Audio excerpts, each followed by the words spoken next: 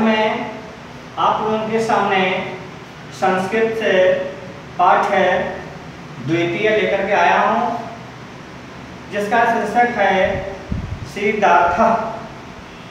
यह है बहुत ही रोचक कहानी है, ज्ञानवर्धक कहानी है। तो आइए, सर्वप्रथम हम लोग इसका भाषण करें और हिंदी अर्थ जानें। पुरा कपिल वस्तु राज्य सिद्धार्थ इति नामनः एकम राजकुमार आसीत्। प्राचीन काल में कपिल वस्तु राज्य में सिद्धार्थ नाम का एक राजा था। एकदा बाला सिद्धार्थ प्रातः भ्रमणाय उपवनम अगछत एक बार सिद्धार्थ घूमने के लिए उपवन में गए। उपवन से शोभा, मनोरमा आशित उपवन की शोभा बहुत ही सुंदर थे, मनोरम थे। उपवने बहवः खग बधुरम कुंजयंती अस्मा उपवन में बहुत से पक्षी, बहुत सुंदर कुंजते थे, अर्थात चहचहाते थे। सिद्धार्थ पक्षिण अपश्यत। सिद्धार्थ है, पक्षियों को देखा। सहसा एक हंस आकाशात घुमौ अपतत अचानक एक हंस आकाश से पृथ्वी पर गिरा। सह शरीर विद्ध आशित। वह बाण लगने से घायल हो चुका था।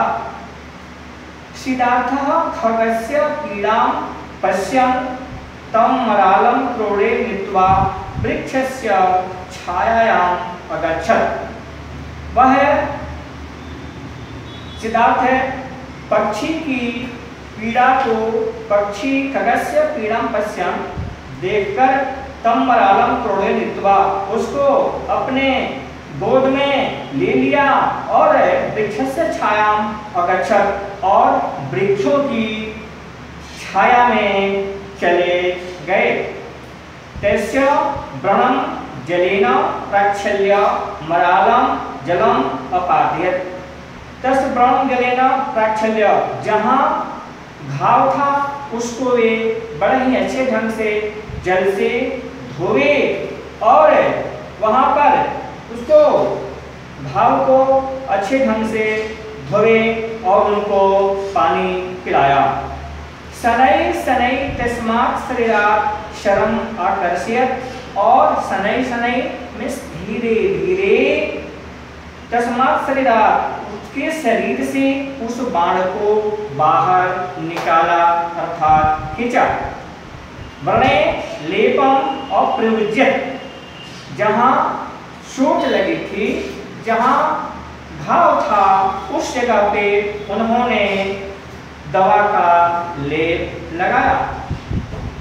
देव तदा एव देवदत्तः इति नामनः अपरः राजकुमारः तत्र आगतत्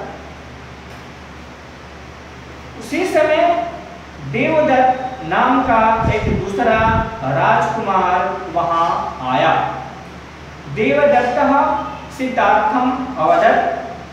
देवदत्त सिद्धार्थ से बोला, अहम एतम हंसम प्रहारम। इस हंस को हमने मारा है, अर्थात इस हंस पर मैंने प्रहार किया है, ऐसा ममा हंस। अतः मेरा हंस है, एतम मह्यम देही। तुम मुझे दे दो। सिद्धार्थ देवदत्तम अवदत। सिद्धार्थ देवदत्त से बोला तुम निषिद्धम कर्म अकरो।